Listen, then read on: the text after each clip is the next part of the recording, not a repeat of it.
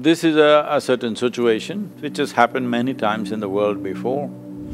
It's just that it's new for our generation and uh, as a generation of people, we are better equipped than any other generation before us. If we behave responsibly, we can uh, survive through this and live through this.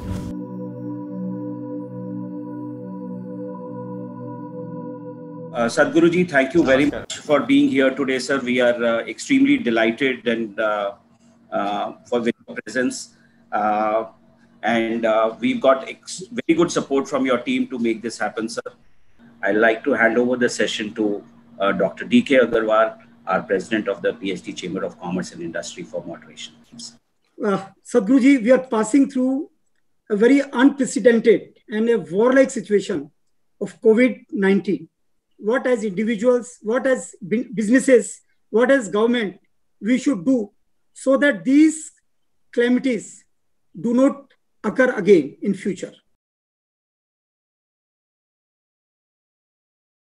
Well, uh, this is a… this is a pathway that a whole lot of people tend to take that we are being punished by God, we are being punished by nature, no, we need to understand this. This is a, a certain situation which has happened many times in the world before. It's just that it's new for our generation and uh, as a generation of people, we are better equipped than any other generation before us. At the same time, let us say, uh, hundred or two hundred years ago, if uh, this sort of virus broke out in Wuhan, in China, uh, maybe 10, 20, 25, 50 people would have died and uh, that would be… that would have been the end of it in that village. But today, because we are so mobile, that there is air travel and every day people are traveling across the world, because of this, it's gotten everywhere.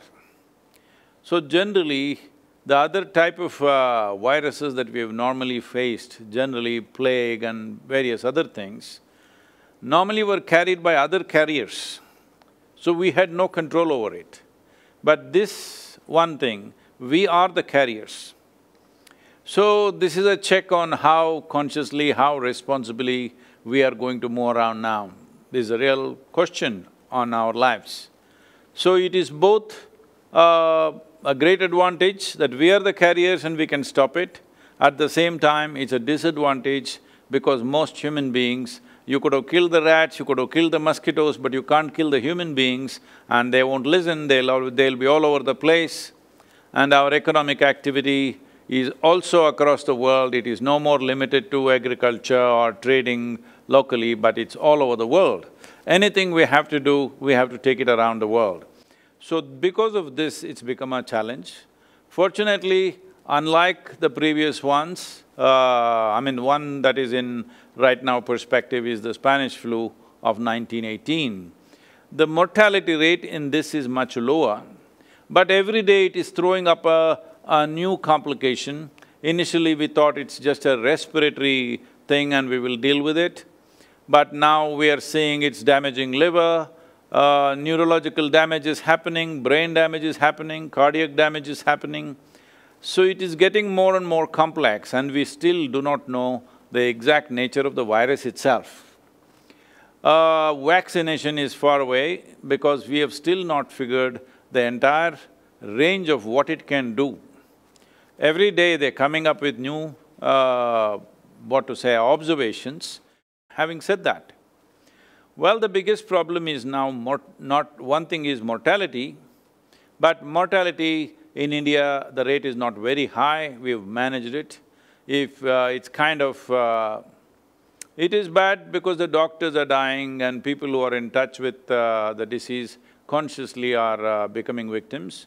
It is a challenge, but mortality rate is not very, very high. Eighty percent of the people who get infected with this virus may not show any symptoms, that's what they're saying. They may just live with it. Nothing they will show. This is also a problem because without any symptoms, they have the virus and these are the people who will carry it across the place because they don't even know they're carrying it. They won't cough, they won't sneeze, nothing happens, everything is fine, but they will be spreading the virus. That is the reason why it has spread the way it has spread, why the contagiousness of this particular virus is higher than what we have seen in the past is mainly because of this, the asymptomatic carriers are all over the place.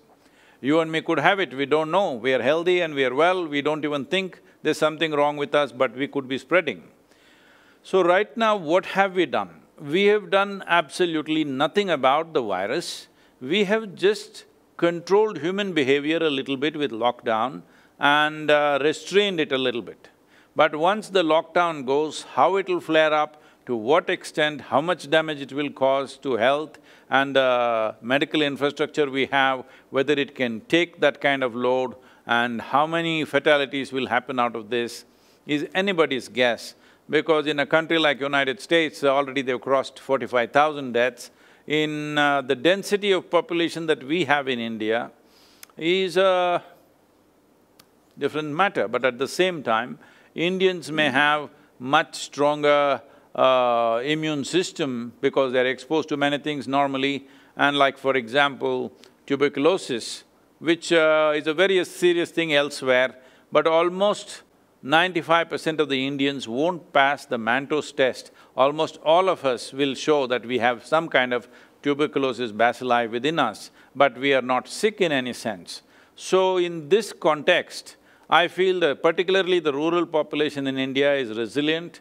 I don't think much fatalities will happen, but the disruption of economic activity, that is going to be the biggest challenge for us because markets are being destroyed, many, many aspects of life where people need to come together will not happen, while agriculture may get on, you know, get going, but even for that, for, for example, right now, the vegetable growers and the fruit growers, this is mango season. I think nearly over sixty percent of the mangoes will rot this year because nobody is going to go and buy mangoes outside. Like this, the market shelves are destroyed because nobody is going to the market. And uh, yeah, textile is a huge thing in India. The, uh, you know, substantial number of people are engaged in textile industry. I don't think it will take off uh, in any, in, you know, in any near future. When I say near future, at least for one year, I don't think, because people won't go and buy clothes when there is an economic uh, restraint. So many industries will take a big hit, every one of us. Well, the government will take a big hit, the large businesses will take a hit, small businesses will take a hit, individual people will take a hit, institutions will take a hit.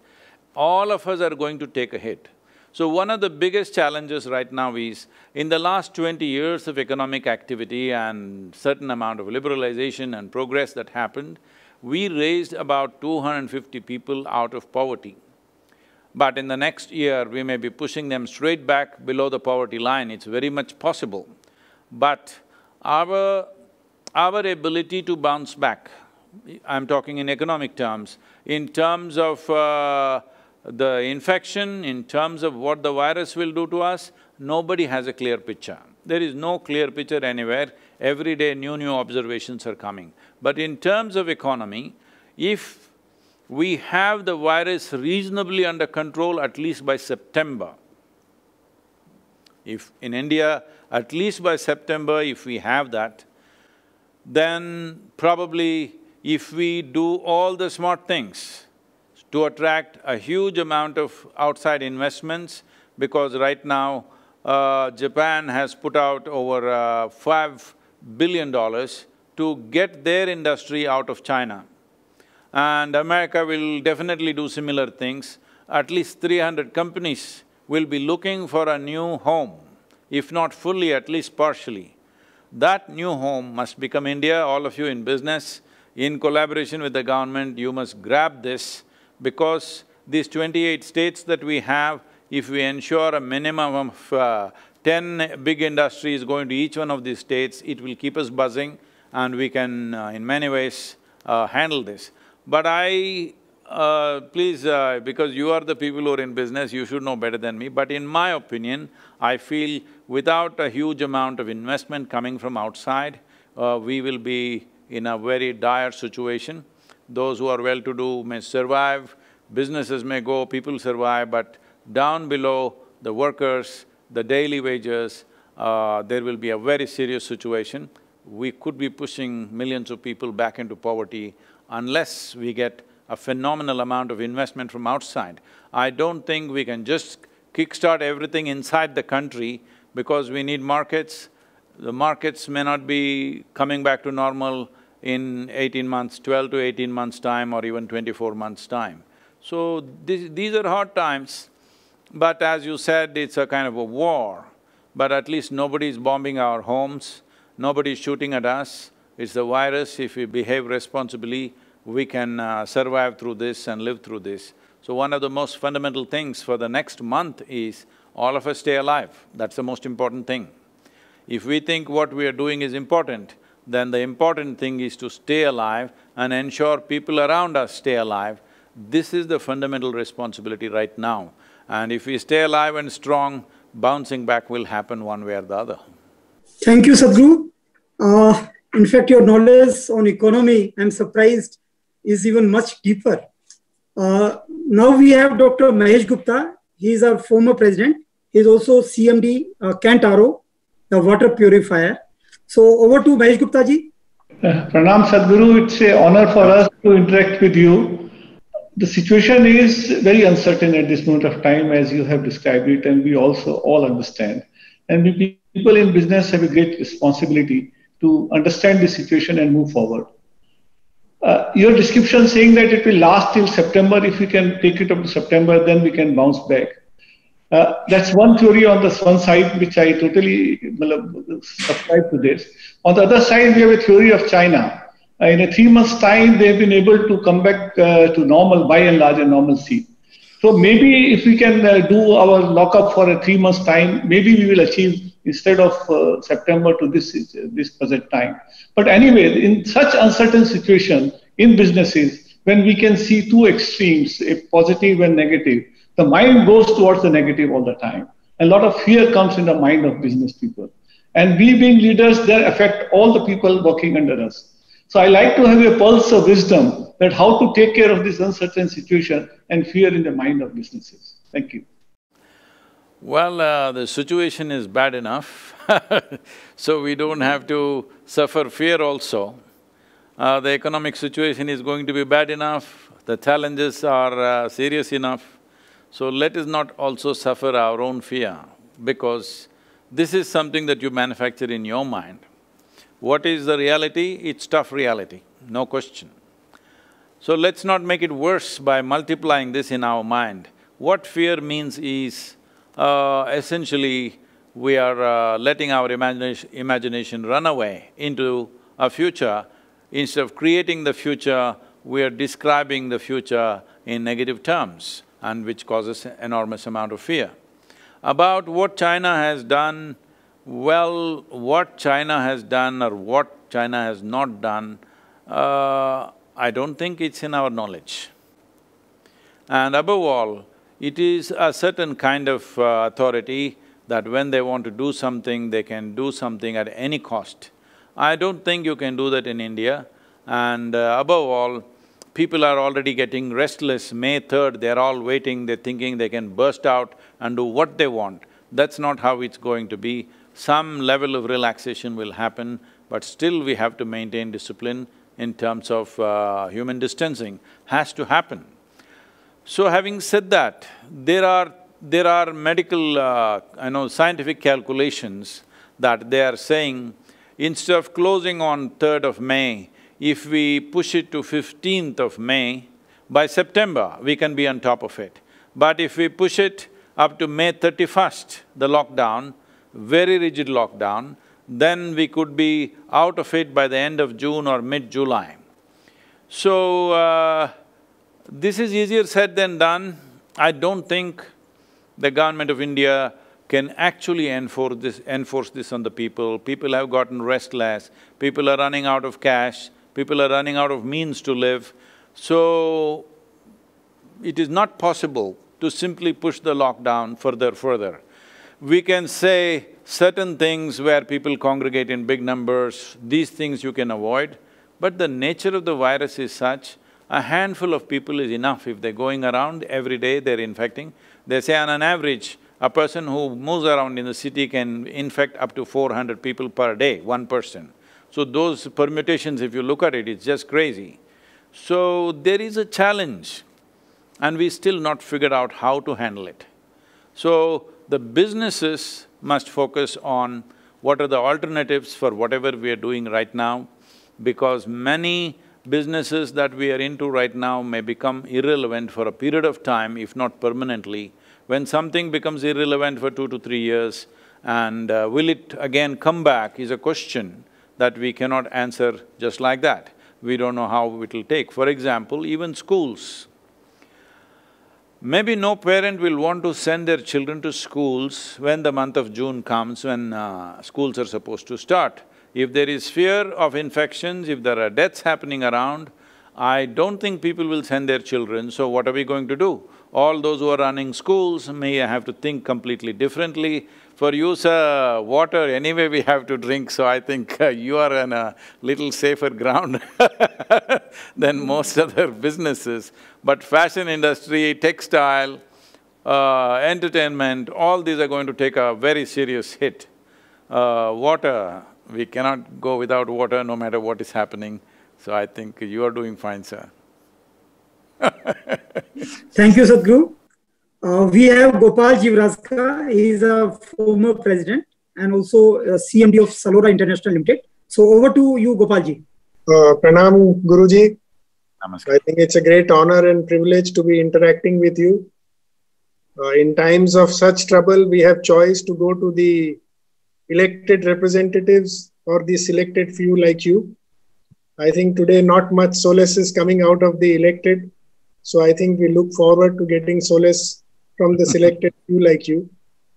I think uh, people like you have great power to influence the heart and the mind like no elected person can do.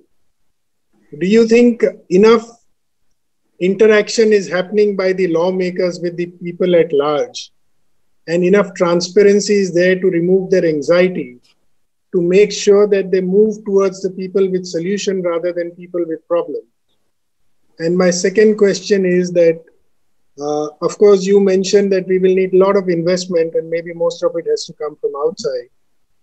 But I have one question. You know, there are so many religious institutions in India, I think, who are sitting on lakhs of crores of rupees in cash or in kind.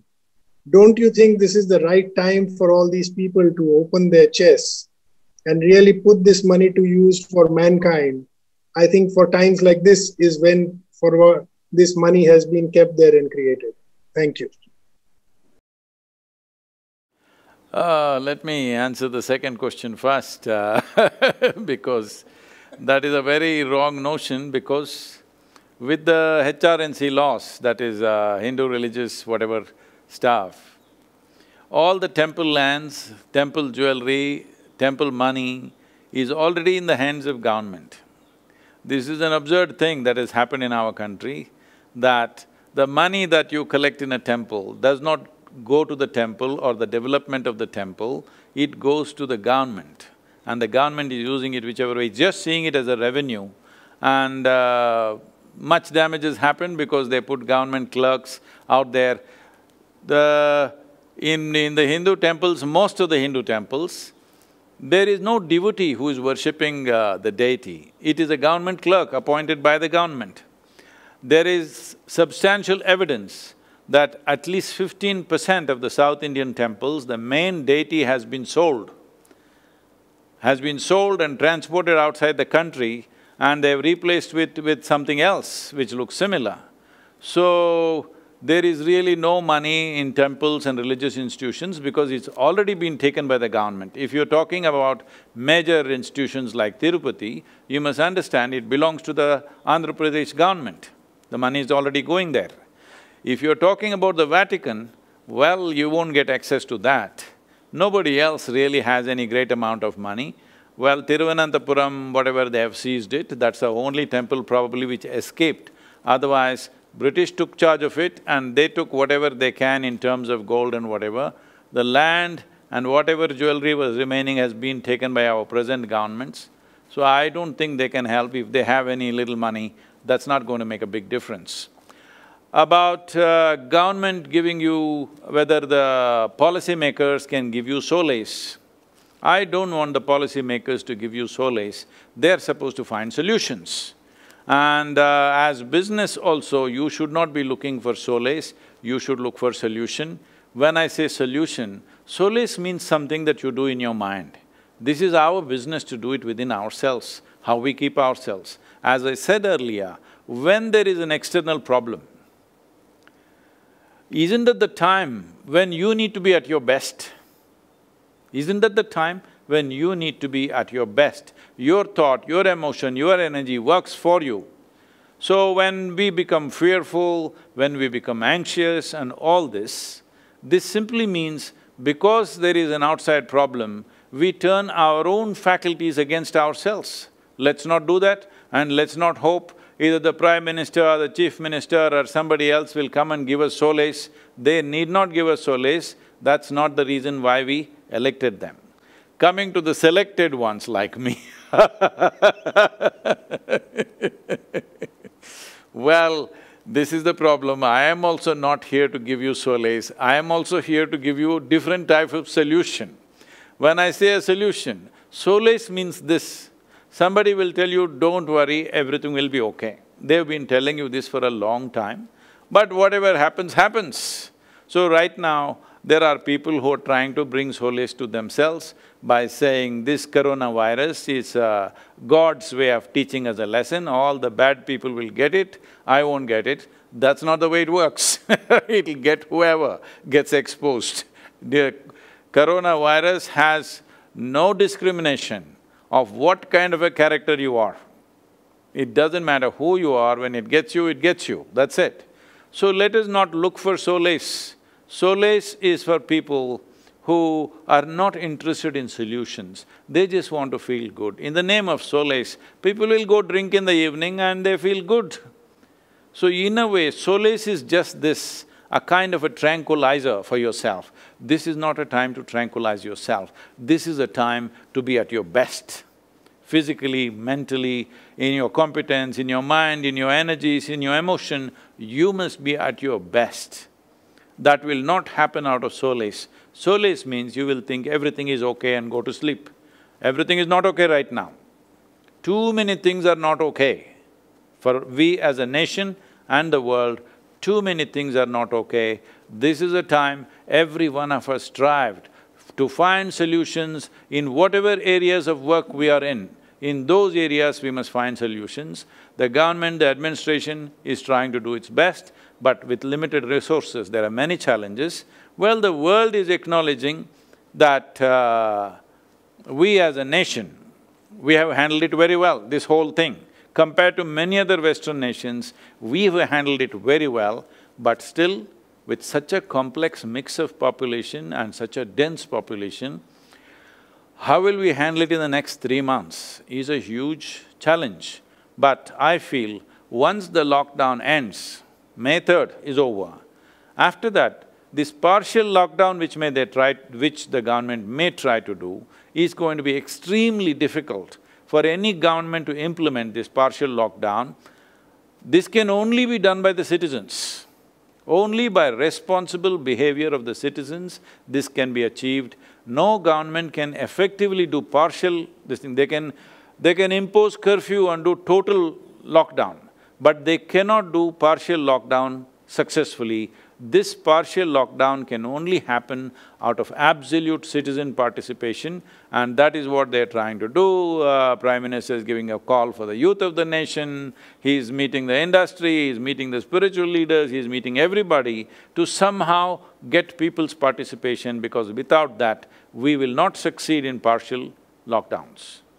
Thank you, Sadhguru. Now we have uh, Mrs. Anuradha ji. Uh, she is chairman of our PHD Family Welfare Foundation. And this PHD Family Welfare Foundation is doing a great job by distributing food packets to the needy. So over to you, Anuradha Sadhguru Pranam. It has been a pleasure listening to you so far. Uh, Sadhguruji, we have skill development units spread over North India and in Delhi NCR. Now, uh, as, at present, obviously, they are closed we uh, look after our beneficiaries in a holistic manner and teach them skills uh, by which they earn a livelihood once they leave our center. When once the center reopens, what is the message of hope uh, we can give to our beneficiaries? Because they will be requiring a lot of hand holding once the centers reopen. See, as a nation, if we look at ourselves as a nation, for 1.4 billion people, we don't have enough forest, we don't have enough rivers and water bodies, we don't have enough land, we don't even have enough piece of sky for 1.4 billion people. So the only real uh, wealth that we have is uh, human potential or human resource that we have. Now, if we have very skilled, focused and inspired population, well, we can become a miracle. But if we have unskilled, unfocused, uninspired population, we will be the greatest disaster. Right now, we are always uh, kind of… many people are very proud that we are the youngest nation in the world. that is, uh, nearly fifty percent of the population is below thirty-five years of age. This advantage if we do not harness in the next ten to fifteen years' time, then you will have an older generation of people without any skills, without any capabilities, without any experience of work, and that will be a major disaster. So if we want to harness the potential of this nation, we have just a window of ten to fifteen years' time. So skill development is a key element of our development so you must put that into them that they are not just earning a living, they are building a nation. This is far more important, I'm telling you, than even the freedom movement. Far more important. Thank you, Sadhguru. We have Karan Gilhotra. He is the chairman of our Punjab State uh, chapter. He is also MD of Platinum Enterprises. Over to you, Mr. Karan Gilhotra. Uh, Pranam Sad, Sadhguru ji. Uh, बहुत खुशकिस्मती आ रही है कि हम आपसे आज बात कर पा रहे हैं। गुरु जी मैं ये कोविड की बातें बहुत हो गई है। मैं कुछ और आपसे पूछना चाहता था। What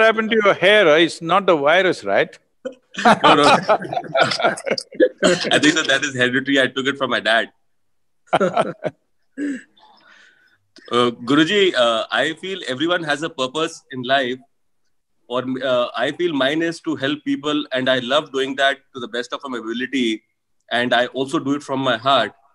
But on the flip side, I love to drink, I smoke, I eat meat also, and I love to socialize. I love the company of my friends. Does uh, do these habits, uh, Guruji, define me as a sinner? Oh. you helping somebody is not a virtue you drinking and eating meat is not a sin. It is just you have to look at it in terms of, is it sensible for your life to do certain things? Does it add in any way to your life? Well, most human beings are doing most of the things they do, thinking that it will get them something. Well, nothing gets you anything because now virus is hanging in our face and reminding… I've been trying to remind people nearly for the last forty years, but I think this virus is doing the teaching much better than me, that suddenly everybody is aware they are mortal. This is something we must understand. Mortal means we have a limited amount of time, that's all it means. How old are you? Sir, I'm forty-three, sir. Forty-three. Forty-five years ago, you were dead. Hello? Yes, you were not alive. Forty-five years ago, you were dead. I will give you another sixty years. Hmm? Hundred and three years is good or you want more? no, no. I, I don't want that much, sir. No, no, no, it's okay, you can… Uh, you can still drink and eat whatever and live to hundred and three years of age. So I'll give you another sixty years. After sixty years, again you will be dead. For how long were you dead forty-five years ago? Endless amount of time. How long will you be dead after sixty years? Endless amount of time. You're just alive for a brief period of time. In this period of time, what makes utmost sense to you, that's what you must do because it's a very brief amount of time. Because people are spending their life unconsciously, not paying attention, as you sit here, life is ticking away. Because people are not conscious of this, they think they can do all kinds of things which don't mean a damn thing to them. No, no, I enjoy what I'm doing. Yes, maybe. But why don't you also explore other dimensions of life, how it would feel? See, look at my eyes, I look always uh, stoned. Never touched any of the substances that you're talking about, but isn't this human body, this human mechanism, the most sophisticated chemical factory on the planet? Do you agree with me, Karan? Absolutely, sir. So when this is such a fantastic chemical factory, most refined and sophisticated chemical manufacturing unit, well, they're saying uh, some trillions of functions are happening per minute. Now the question, the only choice that you have is, either you are a wonderful, effective CEO or you're a lousy CEO. If you are a really good manager of things, you would make… if you sit here, you would make yourself feel absolutely fantastic because every human experience has a chemical basis to it. So you create the most wonderful chemistry, you sit here and you're ecstatic. Would you want to uh, drink alcohol, take a drug, do something? Because as you sit here, you're feeling fantastic, why would you do that? So, I'm saying you have a tremendous opportunity right here, just explore and see, I'm not saying give up anything, just explore and see. If you find something better, smaller things will fall off by themselves. Thank you, Sadhguru. Thank you, thank you, Guruji. Uh, we have uh, Mr. Sanjay Agrawal. He's Senior Vice President, PHD Chamber of Commerce. He's also Chairman and Managing Director of Paramount Communication Limited. Over to you, Sanjay ji.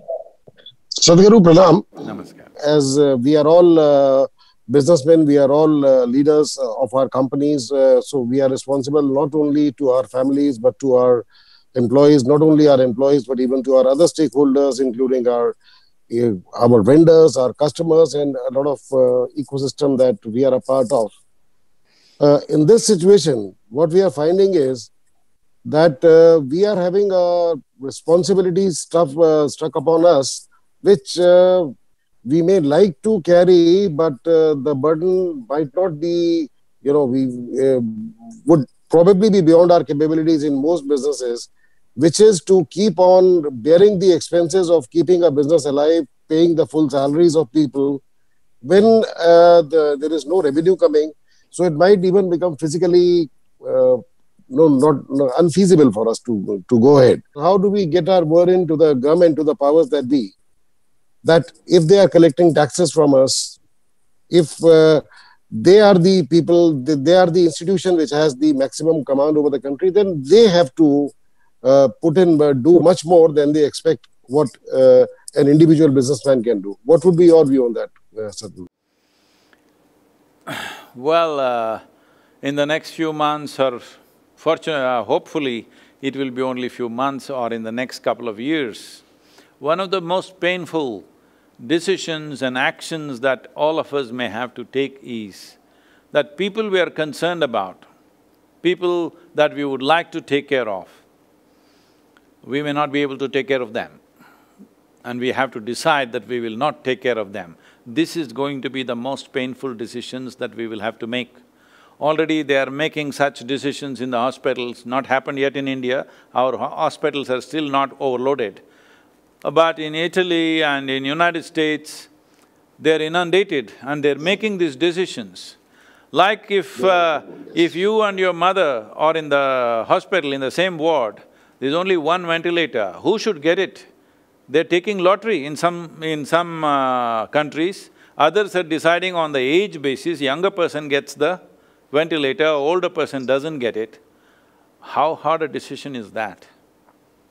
So unfortunately, we are at times where we will be forced to take very painful decisions, things that we want to take care of, things that we genuinely care about and concerned about, not being able to… able to take care of it will always be the most painful thing that you know, a human being can do.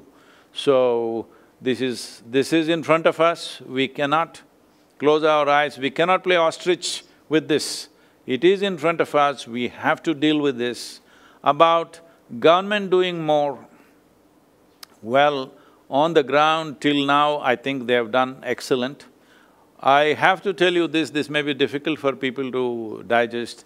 From what I am seeing here in Tamil Nadu and various other states, our volunteers are on the ground, sir, doing variety of service in terms of food and whatever else. I find the ministers, the bureaucrats, the police officials, the level of… and of course the medical personnel, the level of commitment and dedication with which they are functioning, if they function like this for the next five years, we will be a different nation altogether. It is truly fantastic how focused and how committed they are day and night, they are taking care of things. So these things are being done, I'm… I'm sure you are talking in terms of can they do more for the business. Well, our GDP, the way it is, it is… it is not a substantial GDP for 1.4 billion people. We don't have a big enough GDP for 1.4 billion people and uh, no government, I think, is capable of really, you know, making sure everybody gets everything for the next one year without working and without being productive. And even if you're productive, if there is no market, there is no money, these are serious challenges. Well, infusion of money and liquidity has to happen, otherwise uh, businesses and industry could get wiped out. Uh, I'm sure they're conscious of it, it is being worked out and also industry and specific businesses, whatever the areas of businesses, much must make strong representation because uh, because when the resource is limited, whoever cries loudest will get better kind of uh, attention. Unfortunately, that is the reality.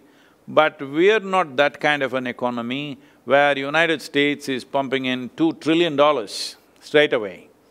Uh, we are not in that kind of a state to pump in that kind of money. That's why I said bringing in foreign uh, investment in a big way. If in the next one year we focus on bringing in at least a trillion dollars of investment, then we will breathe. Otherwise, even if we are not infected, by corona, we will still choke in many different ways. Uh, these are very hard times, these are not easy times. Still the hardest part is yet to come. Right now, lockdown itself, people are complaining. You will see when you relax the lockdown, that is when the difficulties will come. Only…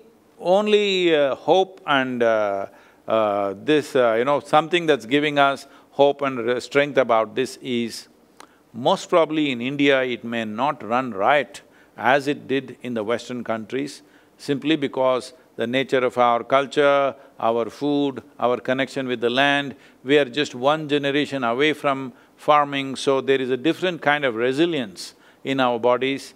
We may pass through this little better, but it's only a hope. There is no evidence, there is no hundred percent guarantee about it, but some of the indicators are showing that we may come out of it better because the fatality rates are pretty low in India right now. Uh, we must understand, I think we have identified some three lakh people as positive, is it? Uh, whatever number, I think fifty thousand or… so. In India. So, uh, this is simply because we just not able to test too many people. There is no way we're going to test one billion people, it's uh, not even a practical uh, possibility. So there are a whole lot of people who have infections, but they're not even sick, they're not going to the hospital, they're… they don't even know they're carrying it. That is a danger, at the same time that's a good sign. That means many of us may go through the infection without any great damage to our systems. Uh, that is our biggest hope. Hope Indian uh, genetics and body and food makes us little more resilient that we can pass through, otherwise we're definitely hitting a pit uh, that we must right now plan and strategize how to get out of in the next uh, twelve months. Thank you, Sadhguru. Now we have Saket Dalmia, the young and dynamic uh, uh, leader. Uh, he's also mentor of uh, Young Business Leader Forum of PHD Chamber, also chairman of our PHD Retail Committee. He is MD PG Industries Limited. Over to you, Mr. Saket. Thank you, Agarwal. Please be very brief. Yeah. I'll try to be. Pranam Sadhguruji. Uh, my question today is a bit personal. Uh, when the lockdown started, there was an initial feeling of despair. All the things around me were feeling that all businesses are coming down, and suddenly the whole ecosystem started falling. After that initial phase, when I started uh, internalizing my time to my family, suddenly I started having more time. I could enjoy the love and affection of my parents, my family, and I was in a state of happiness. That emotional feeling of happiness was no more connected to my uh, business efforts and everyday rewards. So don't tell me you don't want to come out of the lock, lo- lockdown. The question is, uh, Sadhguruji, that how to keep this feeling of happiness which I've attained right now going ahead in my life.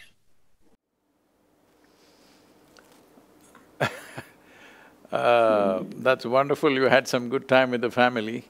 But uh, we need to understand this, that human experience is essentially caused from within us. Whether it's joy or misery, whether it is pain or pleasure, whether it's agony or ecstasy, whatever is the human experience happens from within us. What happens within us, we are trying to create it by creating external circumstances. We must understand this, no matter who we are, how capable and competent we are, at no point is external circumstance one hundred percent the way we want it, that'll never happen.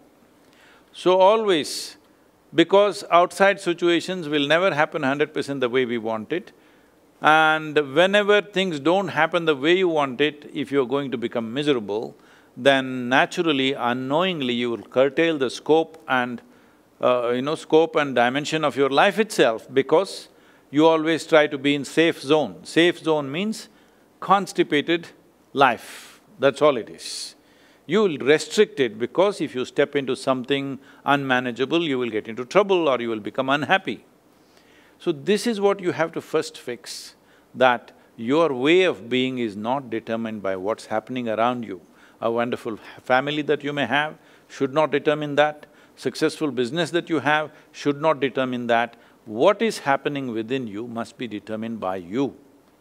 You are feeling joyful right now, it must be your making. Now if you are with your family, you will share your joy with them, you are not trying to get joy from them. If you are in business, there also you're trying to do your best as an expression of the fulfillment that you have in your life. But right now, we are trying to squeeze these things. What happens within us, we are trying to get it from outside.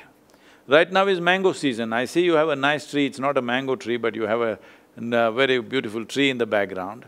But suppose it was a mango tree, you want mangoes, should you go and look up at the tree or you start digging at the roots to find mangoes? you won't find mangoes there. So right now, this is what is happening. Happiness or misery, whatever human experience happens within you. What happens within you must happen the way you want it. So this is why inner engineering. We… when I continuously been going on for forty years telling people, all first thing you have to do before you touch the world, before you touch anybody else's life, First thing is, you must make this life pleasant. Otherwise, you may do it with best intentions, but you will cause unnecessary nonsense in the world simply because when you are feeling miserable, you will one way or the other become nasty to life around you. When you are feeling wonderful, you are always wonderful to everybody. Just tell me this, is this not true with you and everybody? If I meet you when you're very happy, you are a wonderful man, I am no… I have no question about that. But if I meet you when you're frustrated, angry, miserable about something, you could be nasty, isn't it? This is true with you, this is true with everybody. So this is the first thing you must fix. You are joyful, you are happy right now, but let it not be because of your family. You are joyful because you have made that happen within yourself. Now your family time is to share this joy that you have with them. Tomorrow you step out into the business, once again, your life is an expression of this joy. Now you will do life in a completely different way. First thing is we must engineer ourselves, then touch the world, otherwise uh, we will mess it up with good intentions. Thank you, Sadhguru. As we are running short, this is going to be the last question from Mr. Rajiv Luthra. He is professional member of PHD chamber. He's managing partner, L&L Partners. Mr. Rajiv Luthra, over to you. Namaskaram, Sadhguru. Namaskaram. uh, Tell me. Vedma, Vedma and the family sends you a lot of warm namaskarams. We are very, very blessed, uh, Sadhguru, that uh, we have been able to talk to you. And I've heard you on many, many sessions, and each time I've learned something new. My question to you, uh, Sadhguru, is you've been answering many, many tough questions. And I, you know, think if I was sitting in your place, how would I answer them? And a lot of them you've taken really, uh, you know, you've answered them well, people have heard well, and people have learned well. And we are all blessed that we've got a lot of solutions. So, my question is what was the toughest question you were asked? And what was your answer? uh, I'm waiting for that question, it's not come yet Great, Sadhguru. And by the way, Sadhguru, uh, Adi Yogi awaits. Let this finish, you have to come and bless it. Why, how, how did they allow you on a membership uh, for this, uh, what is this, progress, what is this, I'm sorry? PHD Chamber of Commerce. Ah, how did they allow you on this, Rajiv? Sadhguru, even their committees make mistakes. Wonderful Thank seeing you, you long time. Thank you, Sadhguru. This was a lifetime opportunity to hear your words of wisdom. I would request Mr. Sanjay Agrawal to uh, propose a formal word of thanks. Hmm. Gurudev, it's my absolute privilege uh, to have uh, felt uh, this uh, closeness to you and to uh, to hear from you in person today from in such a wide-ranging discussion that we had I think you have told us your very, very clear and unambigu- unambiguous views, starting from social and commercial to practical to spiritual to even existential.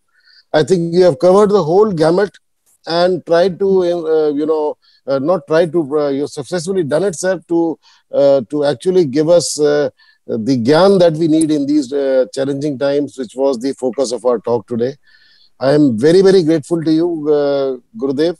And we keep, uh, we, we hope that we keep having more and more sessions with you uh, Uh, so that the chamber, the PHD chamber and its members keep benefiting from your sage advice. Pranam Gurudev. Namaskaram. May the best be with you. My blessings to all of you. Thank you very much.